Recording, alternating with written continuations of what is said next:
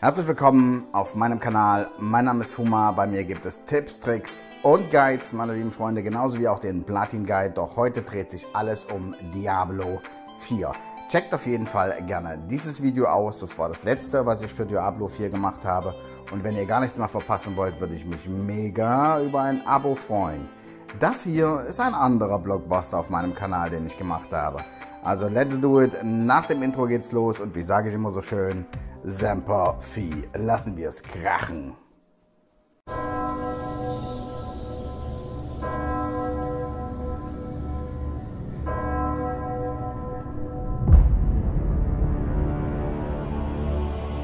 Herzlich willkommen zu meinem Trophäenguide zu Diablo 4. In diesem Video werde ich euch die Trophäen etwas näher bringen, auch ein paar Tipps und Tricks euch geben an die Hand, damit ihr besser versteht, was ihr machen müsst oder wo ihr hingehen müsst, um die Trophäe zu erhalten. Noch ein wichtiger Hinweis, es wird hier keine Story-Spoiler geben. Also fangen wir an mit den Bronzetrophäen. Let's do it. Bei den Bronzetrophäen beginnen wir mit der Emanzipation, schließe die Kampagne ab. Das ist ja soweit auch klar und auch einzigartig. An dieser Stelle kann ich gleich dazu sagen, es wird zu dieser Trophäe auch noch eine Goldtrophäe geben. Aber dazu später mehr. Dann engagierter Beschützer. Erreichen Sie Level 50 mit einem beliebten Charakter. Dabei ist es völlig egal, was ihr für einen Char nehmt. Hauptsache, ihr erreicht einmal Level 50. Dann Legionskiller. Das zieht sich jetzt so ein bisschen durch. Bei den Bronze-Trophäen töte 666 Dämonen, Gefallene oder Ziegenmenschen. Ihr müsst nicht alle töten, sondern oder. Entweder 660 Dämonen, Gefallene oder Ziegenmenschen. Untote rückgängig machen. Im Prinzip heißt das Untote töten. Töte 600 266 Geister, Skelette oder Zombies. Und dann kommt der Kammerjäger, das ist die nächste Bronze-Trophäe. Töte 660 Schlangen oder Spinnen. Na, Halleluja. Also werden wir definitiv zum Kammerjäger werden. Schauen wir uns mal die nächsten Bronze-Trophäen an. Huch, was passiert denn da? Das war's schon. Ja, genau. Es gibt nämlich nur noch zwei Bronzetrophäen. Die eine heißt gedreht, töte 666 Ertrunkene, Vampire oder Werwölfe. Und die letzte Bronzetrophäe ist gefolterte Seelen. Töte 660 Banditen, Kultisten oder Ritter. Tja, was haltet ihr denn von den Bronzetrophäen? Das sind jetzt echt wenig gewesen, nämlich nur sieben Stück. Schreibt mir gerne mal eure Meinung in die Kommentare, was ihr von den Bronzetrophäen haltet. Wir gehen dabei mal einen Schritt weiter zu den Silbertrophäen. Da wird es erst spannend, dann interessant und dann herausfordernd. Das darf ich jetzt schon versprechen. Und wenn euch das gefällt, was ich mache, dann lasst mir gerne ein Däumchen oben da und abonniert meinen Kanal, damit ihr nichts mehr verpasst von Diablo 4. Natürlich möchte ich auch an dieser Stelle meinen Community Stream empfehlen. Checkt den gerne aus. Ich streame zusammen mit Abonnenten und Kanalmitgliedern und mit richtigen Diablo-Profis. Also wenn ihr Fragen habt, kommt dann auch gerne in den Livestream. Aber jetzt die Silbertrophäen. Hammerdown Töte 50 Feinde, während du als Barbar im Berserker-Modus bist. Das heißt also, wenn ihr wirklich die Trophäen haben wollt, müsst ihr den Barbar auch so skillen, dass ihr den Berserker-Modus aktivieren könnt. Weil es gibt ja unterschiedliche Builds, wie man seinen Char spielen kann. Aber für die Silbertrophäe muss der Barbar 50 Feinde töten im Berserker-Modus. Das ist gleich mal der erste Tipp an dieser Stelle. Okay, und das geht nämlich jetzt auch so weiter. Die nächste Silbertrophäe ist mit kräftigen Schlägen. Töte als Druide 50 Gegner in der Werbeergestalt und 50 Gegner in der Werwolf-Gestalt. Also, das müsste dann auch so skillen bei dem Druiden. Werbär und Werwolf und jeweils 50 Gegner müsst ihr dort töten. Dann die Armee der Knochen. Das finde ich persönlich, weil ich Necro spielen werde, und dazu auch schon ein paar Videos gemacht habe. Checkt gerne diese Videos dazu aus. Da habe ich drei unterschiedliche Builds vorgestellt, die meines Erachtens schon ziemlich stark sind, aber das dürft ihr dann selber gerne auch ausprobieren. Also Armee der Knochen, beschwöre 100 Skelettmagier oder Skelettkrieger als Nekromant. Hierbei ist es völlig egal, ob es Magier oder Krieger sind. Wir brauchen sie nur zu beschwören und das war's. Und für die, die mit ja, den Minions spielen wollen, das heißt mit den Skelettkriegern, ist das eine ganz einfache Sache. Dann, das finde ich auch wieder sehr interessant. Rein und raus. Töte als Jägerin 50 Feinde in der Nahkampfreichweite und 50 Feinde außerhalb der Nahkampfreichweite. Aber ich denke mal, das ist für die Jägerin, ja, wie jeden Morgen seine kalte Milch trinken. Ganz klar, das machen die wahrscheinlich im Schlaf. Okay, gehen wir mal weiter und schauen uns die nächsten Silbertrophäen an. Ihr seht schon, von den Silbertrophäen sind wir jetzt schon bei einer höheren Anzahl wie bei den Bronzetrophäen. Dann natürlich auch Meister der Elemente, Töte als Zauberer, 100 Feinde mit Feuer, Frost und Blitzschaden. An dieser Stelle mal so ein kleiner Exkurs. Das interessiert, also es ist schon spannend, dass es Silbertrophäen gibt für jeden eigenen Char mit einer bestimmten Aufgabe. Das zeigt mir an dieser Stelle aber auch gleich, dass sie nicht zu Beginn des Launches oder des Releases von Diablo 4 4 eine zusätzliche Klasse, die sich auch gewünscht wurde, ist, schon reingestellt wird. Ich gehe davon aus an dieser Stelle bei den jetzigen Informationen, dass eine neue Klasse wahrscheinlich dann mit einem Bezahl-DLC dazukommt. Aber wir werden es sehen. Gucken wir mal weiter. Die praktische Bastelei. Stelle beliebige Elixiere und Räucherstäbchen. Meiner Übersetzung nach war es Weihrauch. Okay,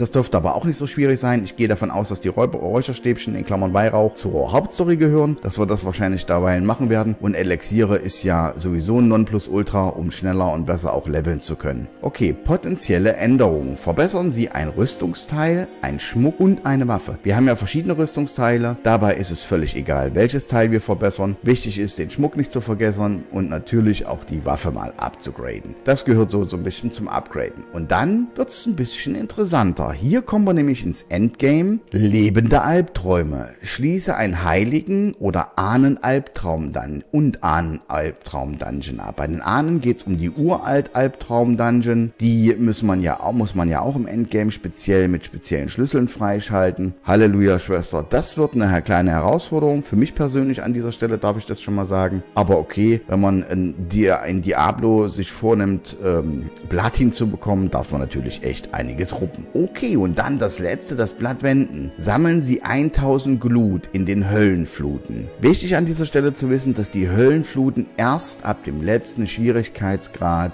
nein, ab dem vorletzten Schwierigkeitsgrad Albtraum spielbar sind. Und diese Gluten, die braucht ihr nachher. Es hört sich ganz einfach an, es ist aber schwieriger, weil es werden viele Minibosse da auch in den Höllenfluten kommen, viele Gegner und die Gluten braucht ihr, um Kisten freizuschalten, die dann zum Beispiel einzigartige Gegenstände ja beinhalten. Gehen wir mal weiter. Das sind jetzt die letzten drei Silbertrophäen Chaotisches Flüstern, öffne 10 Chaos Kisten vom Baum des Flüsterns. Das sind auch Aufträge, das heißt, das ist auch das Endgame. Wir werden dann irgendwann zu dem Baum des Flüsterer kommen im Endgame und der wird uns Aufträge erteilen. Die müssen wir erledigen, dann bekommen wir wieder spezielle Schlüssel und dann erhalten wir diese Chaoskisten. Davon 10 erledigen und dann habt ihr die Silbertrophäe. Ja, und dann natürlich Erste Hilfe, verbessere deinen Heiltrank auf die Maximalstufe. Das dürfte auch ganz einfach sein, je nachdem wie hoch wir kommen, wird das natürlich Geld, Materialien kosten. Also an dieser Stelle auch mein Tipp gleich wieder. Sammelt alles. Aber wer ein Loot-Spiel spielt wie Diablo, der weiß das einfach. Das war alles einsammeln. Von der kleinen Brombeere bis zum großen Wehrbär, wie auch immer. Okay, und dann die letzte Silbertrophäe natürlich. Erreiche 5 PvP-Kills. Poh. Tja, was haltet ihr von den Silbertrophäen? Ihr müsst für Platin in das PvP. Ganz klare Nummer, ihr seht es hier. Schreibt mir eure Meinung gerne in die Kommentare. Ähm, meine Meinung persönlich, ich hätte es mir nicht gewünscht. Das heißt also, ich muss kein PvP haben. Ich finde das doof, dass die das mit einbauen. Aber okay, mal gucken, wie oft ich dann den Popo voll kriege, bevor ich irgendwann mal Bronze, äh, Platin habe. Okay, gehen wir mal zu den letzten Trophäen, das heißt zu den Goldtrophäen, was ihr dort erreichen müsst. Tja, oder weltlicher Jäger, töte einen beliebigen Weltboss. Okay, das habe ich glaube ich dann schon in der Beta zwei oder dreimal gemacht, aber völlig egal. Weltbosse haben bestimmte Timing und Timingfenster. Das wird aber immer auf der Weltkarte angezeigt, wann die spawnen werden. Für Weltbosse braucht ihr grundlegend erstmal auch eine Gruppe, aber keine, keine feste Gruppe, sondern die Leute kriegen alle eine Meldung, oh, das spawnt jetzt ein böser Weltboss, wie Ashava, das war ja in der Beta ein Weltboss. Den haben wir platt gemacht, Halleluja, Schwester. dann kriegst du eine Goldtrophäe. Finde ich persönlich einfach.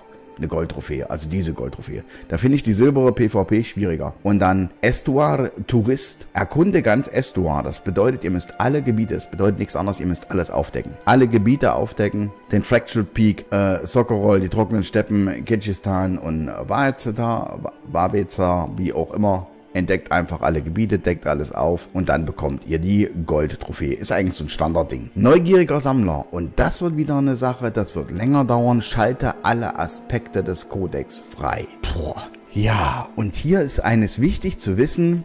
Es ist bei den Aspekten nicht nur eure Klasse. Ihr müsst alle Aspekte finden, für die anderen Klassen auch. Also es bringt nichts, nur die Dungeons zu farmen. Natürlich, um hochzuleveln, ganz klar. Und auch Aspekte für eure Klasse am Anfang zu finden. Aber um Gold zu bekommen, müsst ihr alle Aspekte des Codex freischalten. Soweit klar, also das ist viel Sammeln, Such und Find, das wird eine Weile dauern. Ja, und dann wahre Ausdauer, erreiche Level 50 mit einem Hardcore-Charakter. Und das ist wieder so ein Zwang, wo ich sage, wie beim PvP, das ist doch völliger Quark. Ja, warum muss ich einen Hardcore-Charakter spielen und den bis Level 50 hochleveln? Das wird eine schwierige Angelegenheit. Das heißt, ich werde das Spiel mindestens drei, vier, fünf Mal anpassen, weil wir ja auch ergebener Beschützer haben. Das heißt also, erreiche Level 100 mit, mit einem beliebigen Charakter. Das ist immer noch gut. Das sage ich, das ist alles okay. Aber warum muss ich unbedingt jetzt Hardcore spielen? Hardcore bedeutet, für die, die es noch nicht wissen, ich denke, ihr wisst es aber da draußen, Hardcore bedeutet letztendlich, wenn dein Char stirbt, ist dein Char tot. Und du musst komplett neu von vorne anfangen. Und natürlich die aller, allerletzte Trophäe, das hatte ich ja schon gesagt, das ist die Gold-Trophäe. Hier werde ich an dieser Stelle aber nicht spoilern. Das hängt natürlich mit der Kampagne zusammen. Ihr bekommt zwei Trophäen bei der Beendigung der Kampagne. Das ist einmal die Bronze und einmal die Gold-Trophäe. Und da sage ich einfach nur, das hat was mit der Hauptstory zu tun und mit der Hauptantagonistin, die wir ja in ganz, ganz vielen Trailern gesehen haben. Aber mehr möchte ich an dieser Stelle nicht sagen. Wenn euch das gefallen hat, was ich mache, lasst mir gerne einen Däumchen oben da. Abonniert meinen Kanal, macht rechts die Glocke an und auf jeden Fall, meine lieben Freunde, bleibt gesund und Semper Fi.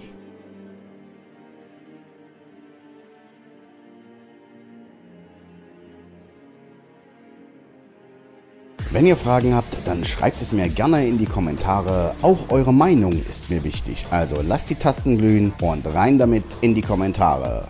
Mein besonderer Dank geht an meine Kanalmitglieder. Ihr haltet den Laden als Master und Commander hier am Laufen. Danke für eure Treue und euren Support. Semper euer Fuma.